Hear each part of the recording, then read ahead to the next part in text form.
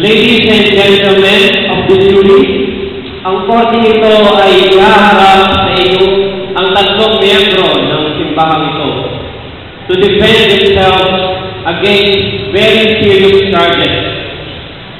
At inyong itimbangin ang mga ebidensya bilang ginagawa ng husgado ito at uhusgahan kung ang nasasakdal ay guilty o hindi ayon sa inyong pananaw. Mr. Superintendent, tawagin na ang unang nasasakdal.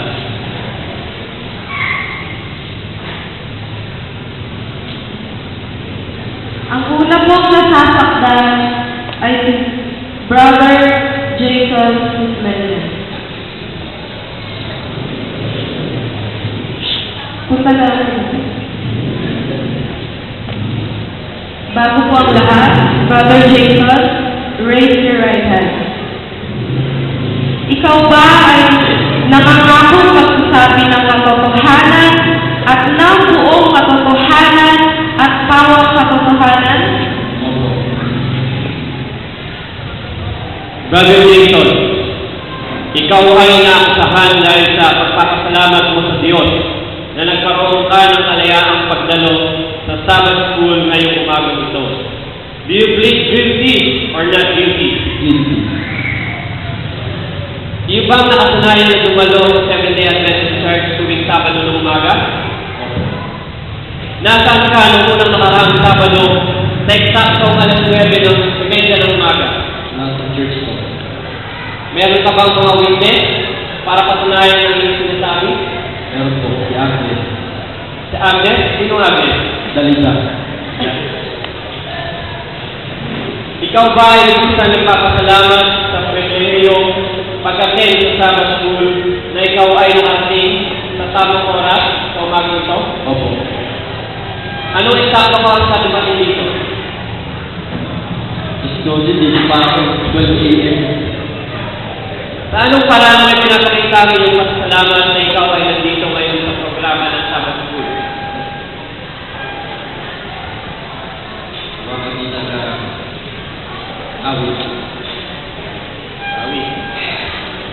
Iyo ba nakasanayan na umawi na may kasiyahan at pasasalamat?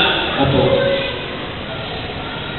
Ikaw ba ay parating nakangiti sa iyong mukha at naglalarawan ng pagpapasalamat tuwing umaawit? Opo. Members of the jury, ano po ang inyong hatol? Si Jason Susmelia ba ay naasahan sa kanilanang pasasalamat sa Panginoon sa malayang pagdalo ng Sabbath School? Itaas po ang inyong kanang kamay kung sa tingin ninyo siya ay guilty. Members of the jury, pakitaas po ang inyong kanang kamay kung si Brother Jason ba ay guilty. Okay. Okay, maaari na po bumaba. Grade D, sa mga hindi sumaayon. Brother James Maya, dahil ikaw ay guilty sa pagiging pag, ah, mapagpasalamat, ikaw ay pinapatawan na magandog ng isang special music.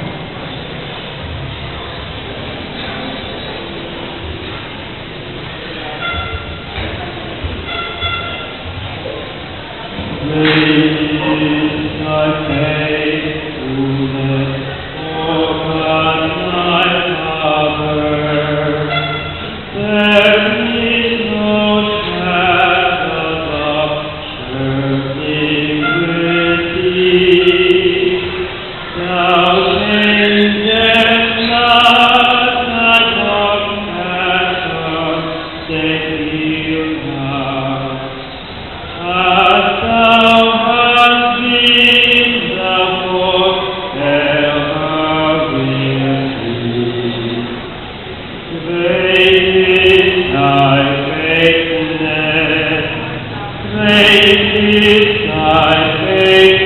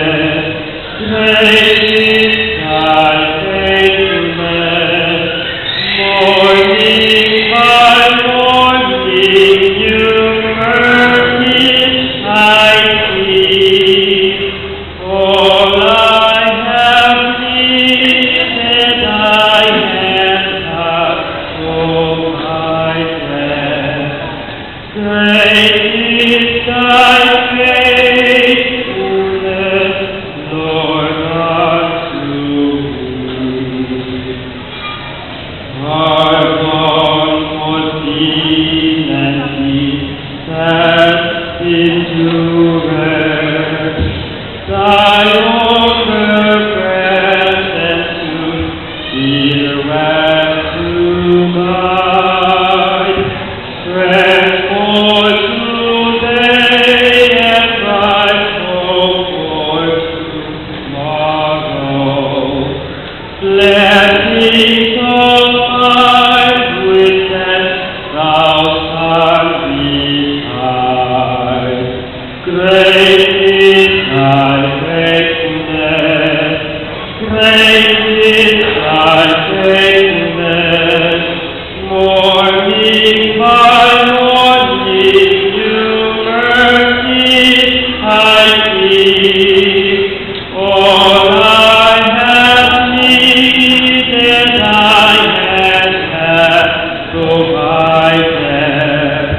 Great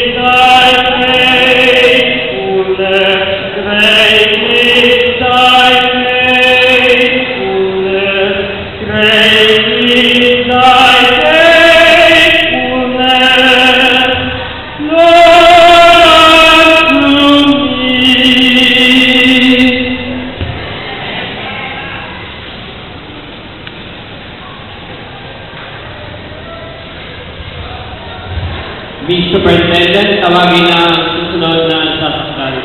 Pag-ibig.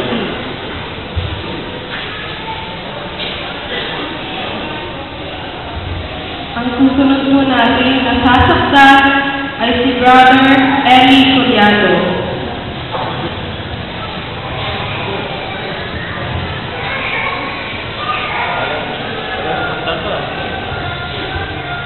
Bago po, Brother Eli, please raise your right hand. Ikaw ba ay nangangako magsasabi ng katotohanan at ng buong katotohanan at pawang katotohanan? Opo. Brother Eli, ikaw ay naasahan dahil sa pagpapasalamat mo sa Diyos para sa Biblia. Do you plead guilty or not guilty? Guilty po. Anong pruweba meron ka na ikaw nga ay nagpapasalamat sa Diyos para sa banal na salita ng Panginoon? Dala mo ba ang iyong Biblia? Dala ko. Iyo ba ang pinag-aaralan ng Sabbath School lesson ngayong week? Opo. Kailan mo ulit binasa ang iyong Biblia? Ngayon po umaga. Maaari mo bang ulitin ang mga katagang iyong naalala?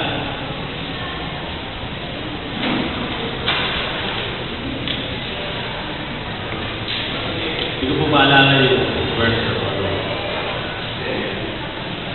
Ipahayag sa mga kapatid bakit ikaw ay napapasalamat sa salita ng Diyos. At ito ba ay mahalaga sa iyo? Mahalaga. Dahil ito po ay nagiging gabay po natin sa ating pong paglakad at pananampalataya kay Jesus. Members of the jury, di pong na napakinggan ang kanyang mga pahayag. Ano po ang inyong hatol? Itaas po ang inyong kalang kamay kung sa tingin ninyo siya ay guilty. Ganun din po sa mga hindi sumangayon. Brother Eddie, dahil ikaw ay guilty, Ah, dahil ikaw ay guilty sa, pa- sa pagpapasalamat sa banal na salita ng ating Panginoong Diyos, ikaw ay pinapatawan na basahin ang memory verse natin sa lesson sa week na ito.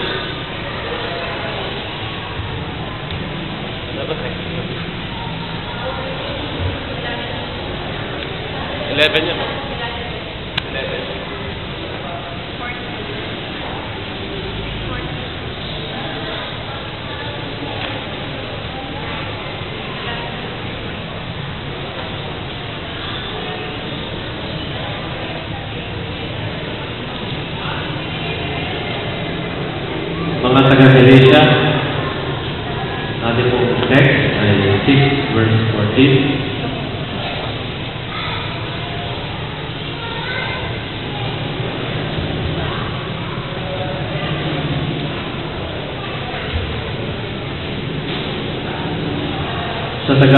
Ang sinasabi, Datapwat, malayo nawa sa akin ang pagmamakuri maliban na nasa krus ng aming Panginoong Heso Kristo.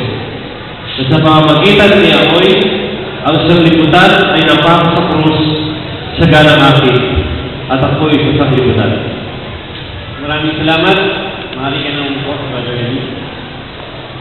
Mr. Superintendent, tawagin na ang sasaktan upang tumayo. Ang huli po nating nasasakdan ay si Sister Charlita Morata.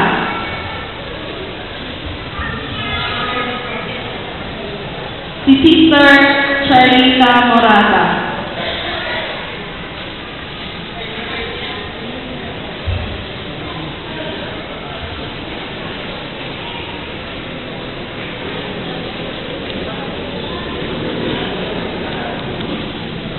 Bago po ang lahat, Sister, please raise your right hand. Right, right po. Yan, kanan. Yan. Ikaw ba ay nangangakong magsabi ng katotohanan at buong katotohanan at pawang katotohanan? Opo. Pwede niyo na po ibaba yung kamay. Sister, ikaw ay nausahan dahil sa pagtanggap ng biyaya ng Panginoon sa araw-araw. Do you plead guilty or not guilty?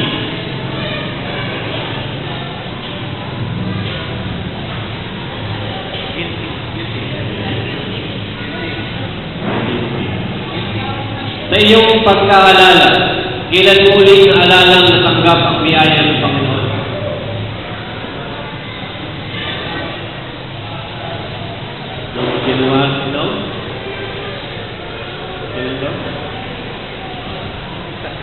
May pruweba ka ba upang patanayan ito? Ano-ano ito?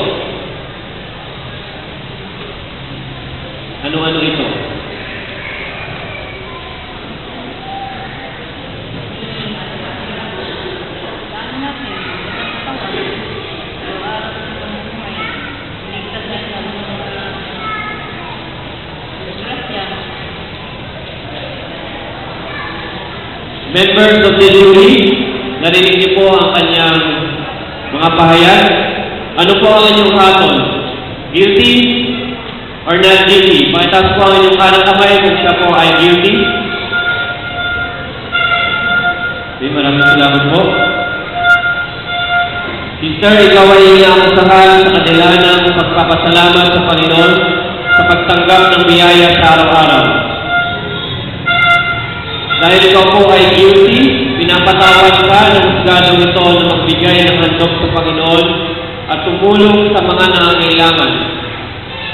Maaari na tayo sumako sa ating lesson study. Maraming salamat.